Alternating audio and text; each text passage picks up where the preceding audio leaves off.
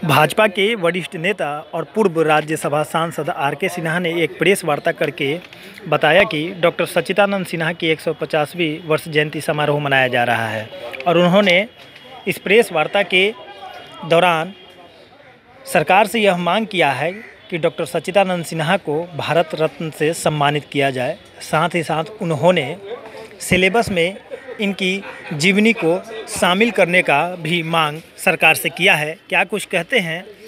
जानते हैं। ऐसा है। मैं मैं मैं आपको बता रहा हूँ कि छः वर्ष में छः वर्ष जो हमारा था, उसमें कम से कम बारह बार तो हम बताए ही होंगे लोगों को मुख्यमंत्री ये गृह मंत्री को, प्रधानमंत्री को भी और सबों ने सहमति जाई किसी ने भी असहमति नहीं जताई। कहा बिल्कुल होना चाहिए। नहीं हुआ। इसका कारण क्या है आपको बता रहा हूँ?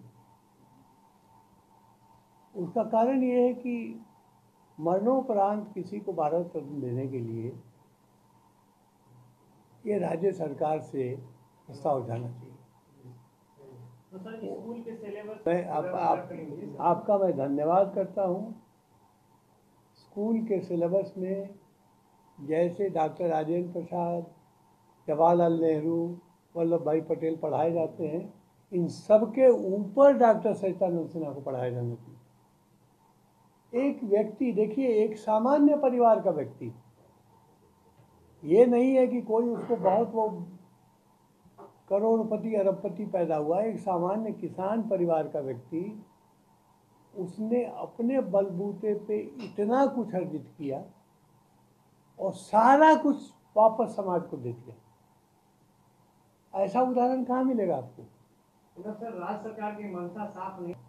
नहीं ये तो मैं नहीं कहूँगा लेकिन राज्य सरकार का ध्यान इस पर जितना होना चाहिए उसमें थोड़ी कमी